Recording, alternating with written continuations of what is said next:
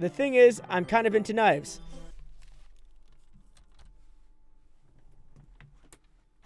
Welcome everybody back. We're bound to this video game to try to figure out where the horror is in it. I'm told that I'm close to nearing Act 1, to which I respond, there are multiple acts? It's already Sunday. I've been getting increasingly anxious about Yuri's upcoming visit. Sorry I ran over my foot. I keep telling myself there's no reason to be nervous, but it still didn't help much. Yuri is clearly an introvert and also an intimate person in general.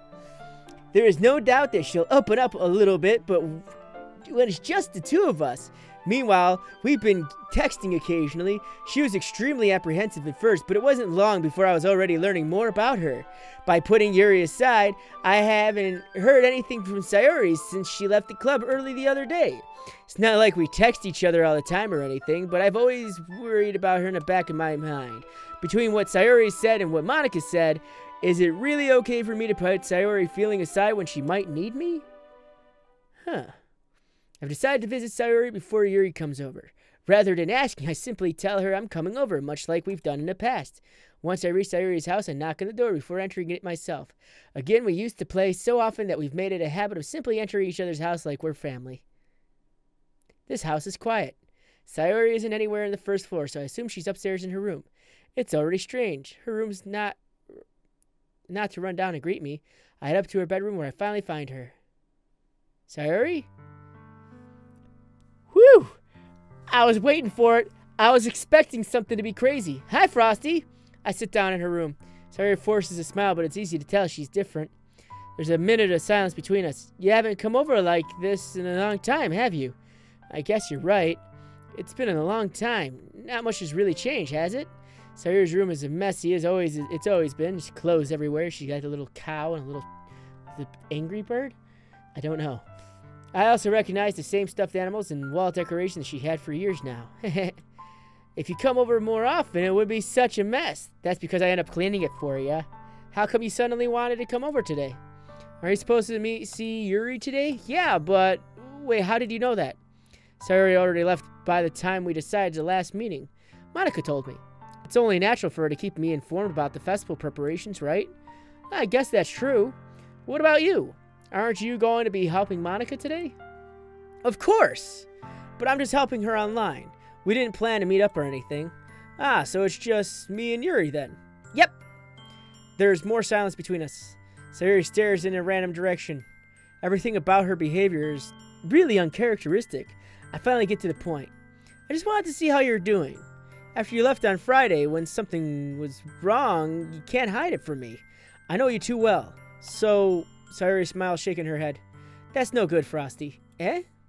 Why can't I just be like it's always been? This is all my fault. If I didn't get so weak and accidentally express my feelings, if I didn't make up that stupid mistake, then you wouldn't have been worried about me at all. You wouldn't have come here. Uh, you wouldn't have been thinking about me right now. But this is my punishment, isn't it? I'm getting punished for being so selfish. I think that's why the world decided to have you come over today. It just wants to torture me. I don't I don't think that at all. Eh, Sayori, I grab Sayori by the shoulders. What on earth are you saying? Are you listening to yourself right now? I know something happened to you. There's no explanation for you to be like this. So tell me already. Until I know, I won't be able to stop thinking about it. Ah, ha. Sayori gives me an empty smile. You really put me in a trap, Frosty. But you're wrong. Nothing happened to me. I've always been like this. You're just seeing it for the first time. S seeing what? What are you talking about, Terry? you're really just going to make me say it, aren't you, Frosty? Guess I have no choice this time. The thing is, I've had a really bad depression my whole life. Did you know that? Why do you think I'm so late to school every day? Because most days I can't even find a reason to get out of bed. What reason is there to do anything when I fully know how worthless I am? Why go to school? Why eat? Why make friends? Why make other people put their energy in carrying to waste by having them spend it on me? That's what it feels like. And that's why I just want to make everyone happy, without anyone worrying about me. I'm in shock. I'm in shock too. Can't even figure out how to respond. How is it possible Sayori kept this form from me the entire time, if, like I've known her? Does she really want so badly for me just to think about her? Why, Sayori? Eh? Why is it that you've never told me about this? It only feels like I've been betrayed as you close friend, because if I knew I would have done everything I could to support you. Even if there's only so much that I could do. I would have tried a little bit harder to make every day a little better for you. That's why I'm your friend. All you had to do was tell me. You don't understand at all, Frosty. Why do you think I didn't tell you? Because if I told you, then you would have had to waste effort caring about me instead of doing important things. I don't want to be cared about. It's bittersweet when people try to care about me. It feels like nice sometimes, but it feels like a bat being swung against my head. That's why I wanted so badly for you to make friends with everyone else. Helping everyone be happy together is the best thing for me. But then I discover something else too, seeing you make friends and get closer with everyone in the club. Feels like a spear going through my heart. So that's why that's why I decided the world just wants to torture me. Every path leads to nothing but hurt. Aha. You're right. I don't understand. I don't understand your feelings at all, Sayori. But I don't need to understand. Whatever it takes for me to help you stop hurting, that's what I'll do. No, Frosty, there's nothing. Nothing at all. The only thing that could have helped is if everything could like be like it always was. But I was selfish. I finally showed you what a horrible person I am. Tears shake down Sayori's face. I made you join a literature club because I was selfish. I was punished by my heart hurting in a way that I couldn't understand. And now you came here and I made you hurt too. I'm just weak and selfish. That's all I am. And that's why I'm going to accept these punishments, because I deserve every last one. Without thinking, once again, Sayori's sh- shoulders I grab. This time I pull her in tight embrace. Uh, Frosty? Sayori, I don't care if you feel selfish. I'm really happy that you convinced me to join the club. Seeing you every day makes it worthwhile enough. If I make friends with everyone else, then that's just a bonus. But please never underestimate how much I care about you. I wouldn't have it any other way. Frosty. Sayori isn't hugging me back. Despite my arms being wrapped around her, Sayori's arm remained at their sides. She starts sobbing next to my ear.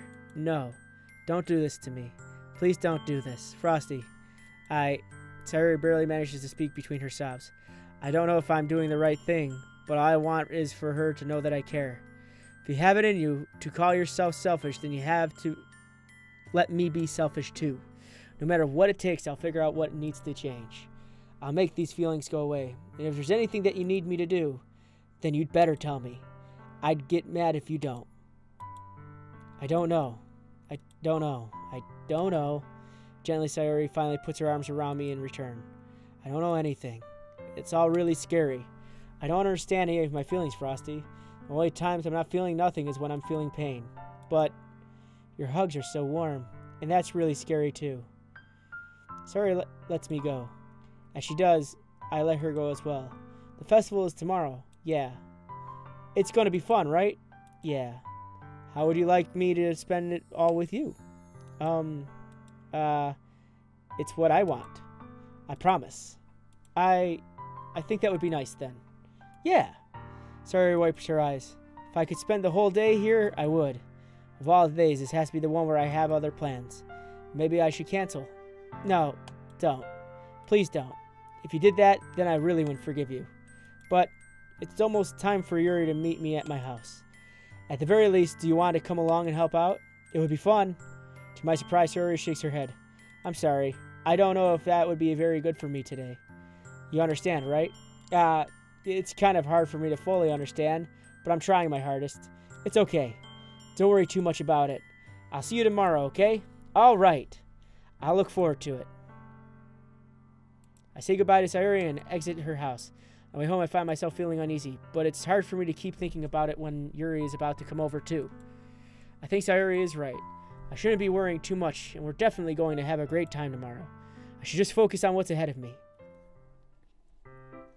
Okay, back to happy moments. That was a little depressing. As I approach my house, I see something that makes me feel a moment of panic. Gary? Uh, thank goodness. You're a little early. I'm sorry I wasn't home yet. Were you waiting for a long time? No, I just got here 10 minutes ago. But I started to get really nervous when nobody answered the doorbell. You also could have texted me. If I had known, I would have reassured you and heard more on my way home. I suppose that's true. I didn't think of that for some reason. It should be common sense to do that, but I decided to ignore it Anyways, let's go inside. I see you brought a lot of stuff with you. That's right. And did you manage to find everything I asked you to buy as well? Yeah, pretty much. At least I hope I got everything right. I'm sure it will be fine.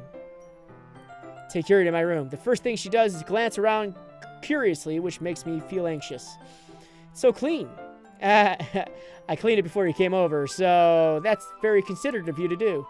Uh, no, I would really be embarrassed if my room was a mess while you were here. Ah. Well, I do enjoy cleaning. I would have gladly helped you clean. Ah. That would have been even more embarrassing. Wait, don't look in there. I snatch Yuri's wrist, which has the process of opening a desk drawer of mine. Ah. I'm sorry. I wasn't thinking for some reason. I was just spacing out. It's fine, it's fine. It's where I keep my textbooks on calculus. You wouldn't find it interesting at all. She puts both her hands firmly on her lap as if making sure she's keeping track of them. So, um, should we get started? Uh, yeah. Um, I have a few things planned that you can help with. Decorations and other atmospheric enchantments. Atmospheric enchantments? You know, mood lighting, aromatherapy candles. Oh, wow. I know you plan on taking it that far. Of course. I want to help take our guests far away place. Although many will stop by just out of curiosity. And for cupcakes, I guess, I'm determined to provide an experience that will leave them wanting more. That's great. It's easy to forget that you're a pretty intense person.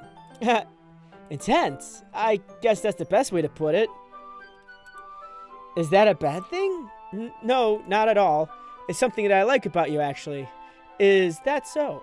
That makes me feel relieved. And kind of happy. Yeah, no need to be so anxious. You can relax a little. Yuri smiles, gently clearing, and enjoying herself. She again reaches in her bag and pulls out several spools of thin ribbon. What are those for? Well, did you purchase the origami paper I asked you to get? Yeah, I have it over here. We won't be using the paper for folding origami. What I'd like to do is write a different word on each paper. We'll need about a hundred of them. Oh yeah? What will those be used for? Well, I'm going to cut pieces of ribbon to hang from the doorway of the classroom. Then we cast the fasten paper on the ribbons to create a doorway curtain. Wouldn't that be beautiful? It would also catch the eye of those passing by the room. It may attract some peek inside. That's really creative. I had no idea you'd be so good at this, Yuri. Is that so? Well, I suppose I do get a little intense, as you put it. Yuri giggles with red cheeks. Is it just me, or is she more relaxed when she's just the two of us? Or maybe it's the excitement she feels from sharing something that she enjoys. Here's a marker, Frosty. You can write any character you want. I'll help you once I finish cutting the ribbons. Ah, uh, alright. Sitting on the floor together, two of us go to work. I carefully draw a different character on each paper, doing my best to manage my bad handwriting. Yuri unravels a long strand of red ribbon to her desired length. Then she then reaches into her bag once more and pulls out a pocket knife. Eh? The knife is strangely beautiful. The silver handle has an intricate pattern of waves etched into it. The blade itself is gently tinted blue.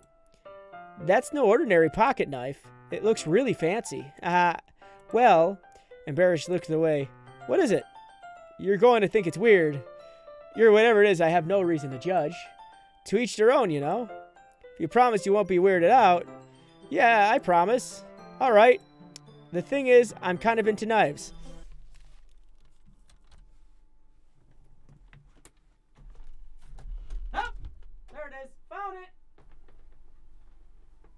It's gonna start getting weird. Freaking knew it. She's into knives. You know what I mean? She's into knives. That's where it's gonna get weird. It, it wasn't gonna start at the freaking. No, it's not gonna be the. Pre- She's into knives. Yeah, that's a thing. Maybe it's just a hobby. I don't know. Who would who would I be to know that it's a hobby? But if she's into knives, that's a thing. All right, I'm going back. All right.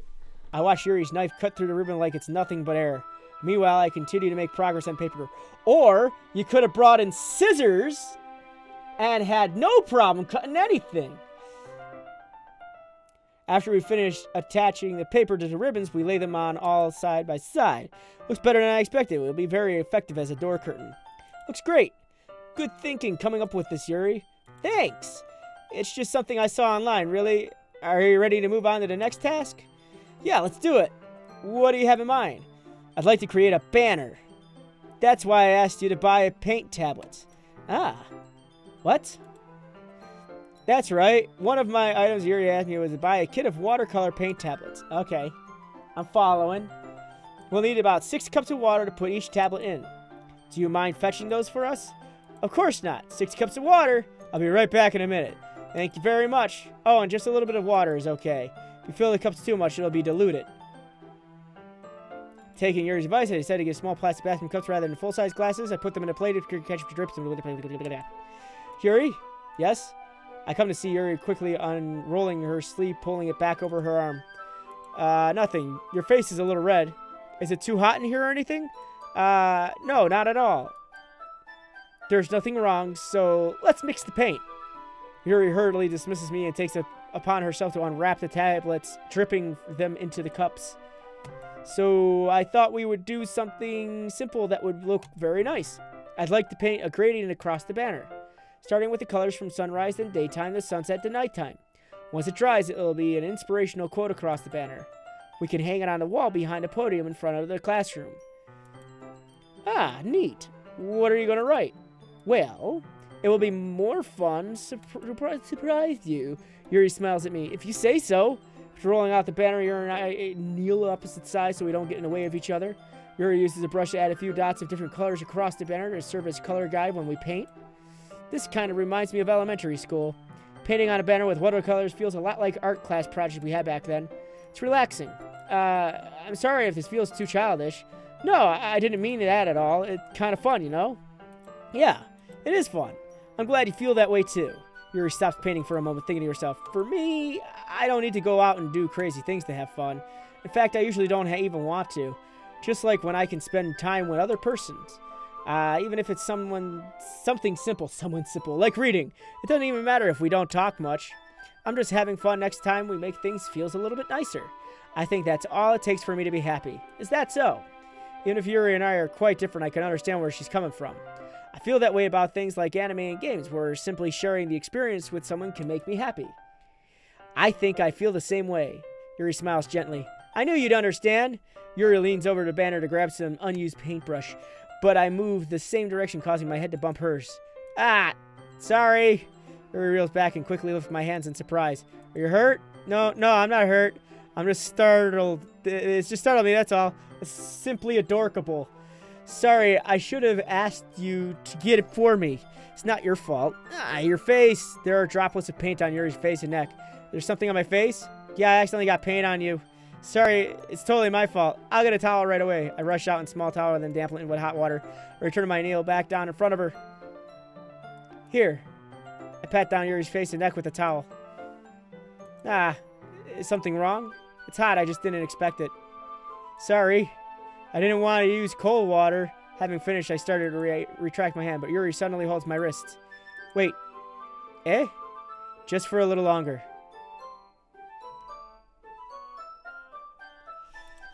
It feels really nice. Ah! Keeping my hand still against Yuri's neck, she looks into my eyes. It's an intense expression that I recognize from when she reads her books. Almost as if she's lost in a daze, enveloped by her own thoughts. She breathes gently, half through slightly parted lips. What's happening? Is this aroma of jasmine oil giving me this dizzy feeling? Yuri's gentle fingers wrapped around my wrist, sending a tingling sensation through my arm, and suddenly her face seems to be much closer to mine than it was just a moment ago. Uh, Yuri slowly pu pulls away. sorry, I'm feeling a little lightheaded today. Yuri didn't mean to space out. Uh, it's fine. The moment is over, and as soon as it began, Yuri picks up her brush again, but her movements seem clumsier, like she's unable to focus remain silent, forced to ignore the event that just transpired. I hesitantly retrieve my own brush and continue following Yuri's example. That should do it. I finished filling a night sky with white dots and it looks like stars. Looking at the banner as a whole, it's very pretty and natural looking. So what you could do for stars is this an old like uh, uh, Bob Ross thing. You see, take a fan brush and dip it in white and sort of like dilute it a little bit. But then you take your finger and kind of flick it down. You get some nice white stars going across the night sky. Bob Ross! I think it came out better than I expected. I'm really happy with the results. Yeah, me too. Are you going to add the lettering now? Ah, not yet. It needs to dry first. That's true, but it won't that take a while? Well, perhaps it would be best to leave it here, then have you bring it in in the morning. I can do the lettering in the classroom before our event starts. Is that okay? That's totally fine. Wonderful. In that case, I don't think there's anything more for us to do here. Wow. Yeah, you say that like you're glad it's over. Was I wrong to assume that you were at least enjoying yourself a little bit? Oh, no, it's not that. I'm just glad that we managed to get everything done. I see. I am too. I was a little concerned about time. I need to start making dinner soon. Yeah. So you don't have any time left? I was secretly hoping we'd have extra time after finishing work. Well, Yuri thinks to herself, I, I think it would be too impression irresponsible. It's my fault. Ir irresponsible is the word, not impressionable of me to wait much longer. I'm sorry. I was hoping there would be more time as well. It's probably my fault. Sorry for being such a slow worker. It's not your fault at all. And the important thing is that we got everything done, right? Yeah. So, it shouldn't be disappointed or anything. Gathering all the things, Yuri seems to look a little downcast. I understand why. It sounded like she really gets the opportunity to spend time with friends in a relaxed environment. But that doesn't mean that it's the last time it can happen. Once Yuri packs up, I walk her out the front door. Thank you very much for having me today. No problem. I'm glad I was able to help. Just let me know if there's anything you need me to bring tomorrow. I will. Well then, Yuri fidgets. I guess I'll see you tomorrow. Wait. I kind of say that without thinking. About today. It's fine that we didn't have much time that we wanted, because we can do this again. Whenever you want, you can just come over and we can hang out somewhere. I forgot you don't like going out much. As I stumble over my words, Yuri simply shies back. Anyway, you, you know what I'm trying to say, so you're very thoughtful, Frosty. Yuri takes a step closer to me, then briefly squeezes my hand. I kind of like that about you. Well, how am I supposed to respond to that? Um, but I don't even get a chance as Yuri suddenly pulls back. Sayori, eh? Uh, hi, Frosty. Sayori, just now we weren't. It's okay, Frosty. I just stopped by to say hi. Um, well, it's nice to see you. I'm sorry, but I'm already on my way to leave. Aw, really? That's too bad. I'm sorry. But we'll get together at the festival tomorrow, so so that's fine, right? Of course. Sayori, beams. Yeah, so I'll see you tomorrow. Clearly embarrassed, Yuri hurries off. Sayori waves goodbye after her. Sayori, I thought you didn't want to come over today. Ah, well, I tried staying in my room, but my imagination was being really mean to me. So I had to come here to see it for myself. See what? What are you talking about? You know, how much fun you were having with Yuri and how close you got to her.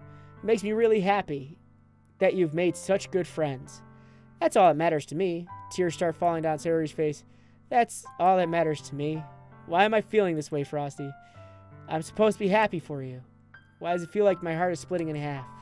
Hurts so much. Everything hurts so much. It'd be much better if I could just disappear.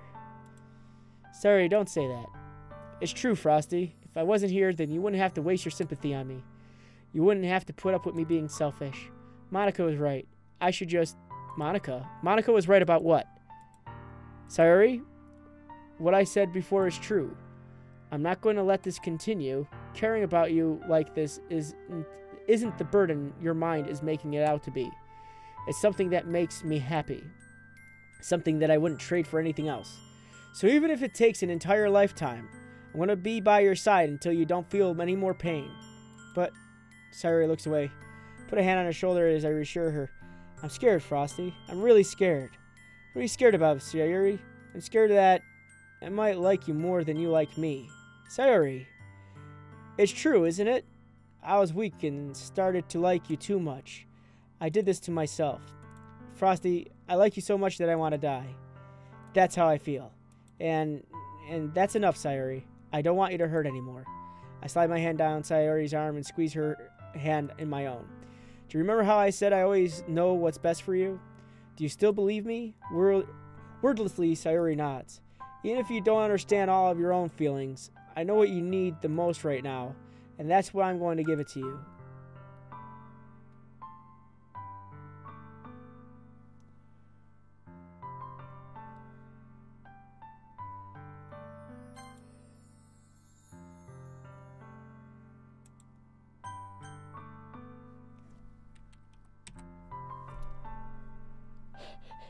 You messing with me, game.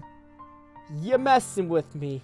The term "I love you" can mean a lot of things. Like I got I got some bros. I say I love you, bro, and that's like that's like bro love. But I'm like I'm talking like not like not like not like like I love my fiance. That's a big thing. That's a big difference. Ah, cause we're trying to do the the Yuri playthrough. Like this is so hard. Like I I know I'm gonna end up replaying this multiple times.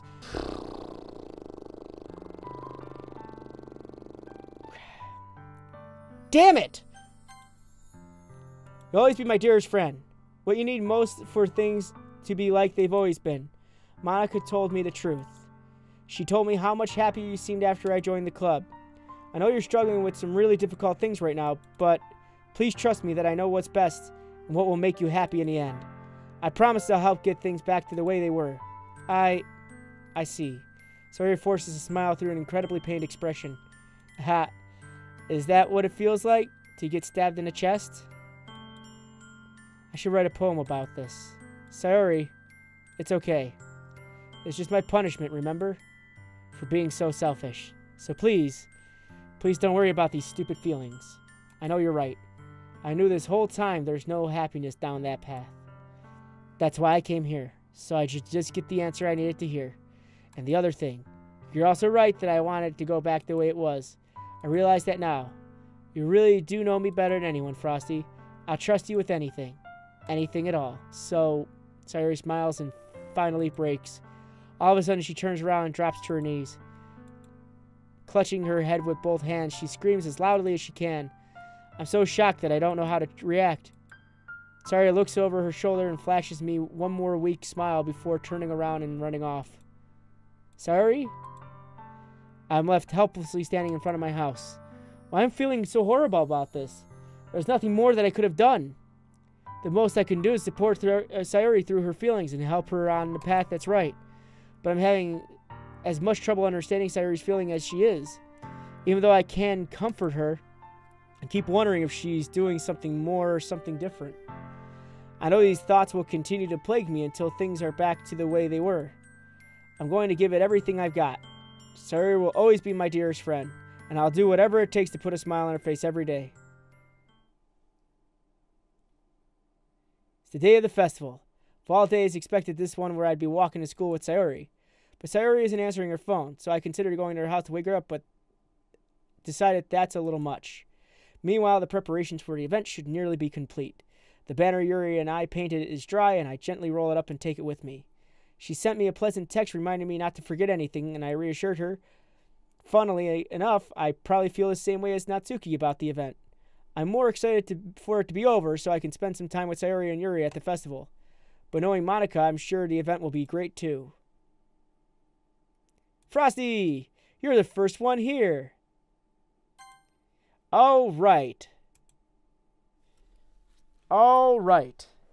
Uh, this is so weird. It's like I can't touch base on this at the moment because I don't want to say too much and and and and like come up with like jump to conclusions because I'm playing this without the idea that any conclusions will be drawn.